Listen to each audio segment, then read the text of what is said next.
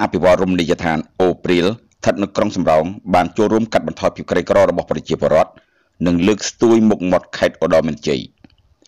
រមណីយដ្ឋានទេសចរអូព្រីលដែលទើបនឹងបង្កើតថ្មីស្ថិតនៅក្នុងភូមិអូព្រីលសង្កាត់បោះស្បូវក្រុងសំរោងខេត្តឧត្តរមានជ័យ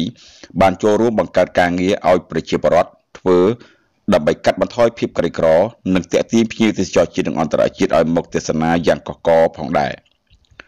លោកជាកុយប្រធានក្រុមហ៊ុនទឹកស្អាតខេត្តកណ្ដាលនិងជាម្ចាស់រមណីយដ្ឋានអូព្រីលនេះ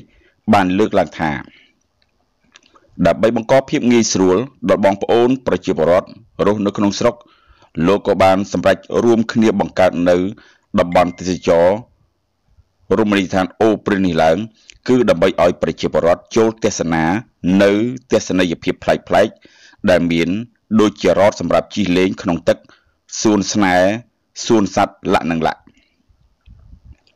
ជាពិសេសនោះសម្រាប់ជាប្រយោជន៍ដល់បងប្អូនប្រជាពលរដ្ឋនៅក្នុងតំបន់នេះឲ្យមានការងារធ្វើមិនចាំបាច់ចំណាក់ស្រុក ទៅក្រៅប្រទេសនិងបានរួមចំណែកក្នុងការអភិវឌ្ឍតំបន់នេះឲ្យមានការរីកចម្រើនជាបន្តបន្ទាប់ឲ្យស្របទៅនឹងរាជរដ្ឋាភិបាលបានដាក់ចេញ នៅពាក្យមានសន្តិភាពមានអ្វីៗគ្រប់យ៉ាងឯកឧត្តមវត្ត បរនិនអភិបាលរងខេត្តឧត្តរមានជ័យបានមានប្រសាសន៍ថាខេត្តឧត្តរមានជ័យជាតំបន់ខេត្តជាប់ព្រំដែនកម្ពុជាថៃដែលនៅឆ្ងាយពីទីក្រុងភ្នំពេញហើយមកដល់បច្ចុប្បន្ននេះបានប្រែក្លាយមុខមាត់ថ្មីដោយលោកជាកុយបានចូលរួមអភិវឌ្ឍខេត្តនេះឲ្យរីកចម្រើន ទាំងវិស័យទេសចរអចលនទ្រព្យសំណង់ផ្ទះល្វែងដីឡូនិងជាពិសេសបានសាងសង់សំណង់មន្ទីរពេទ្យឧត្តរសុរិនសម្រាប់ប្រជាពលរដ្ឋ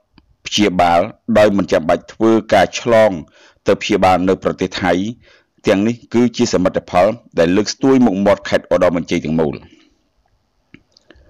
ឯកឧត្តមអភិបាលរងខេត្តក៏បានថ្លែងអំណរគុណចំពោះលោកជាកុយដែលបានតែងតែយកចិត្តទុកដាក់ក្នុងការចូលរួមអភិវឌ្ឍនិងកសាងសមិទ្ធផលនានាក្នុងខេត្តឧត្តរមានជ័យឲ្យមានការរីកចម្រើនជាបន្តបន្ទាប់ ជាមួយគ្នានេះដែរលោកជាកុយក៏បានចែកនៅថវិកានិងសម្ភារៈមួយចំនួន ទៅដល់ប្រជាពលរដ្ឋដូចជាសិស្សានុសិស្សដោយប្រជាពលរដ្ឋចំនួន200នាក់ក្នុងម្នាក់ម្នាក់ទទួលបានថវិកា20000រៀលនិងសារ៉ុងមួយផងដែរ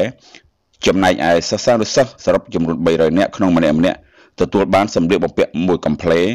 សម្ភារៈសិក្សានិងថវិកា5000រៀលផងដែរ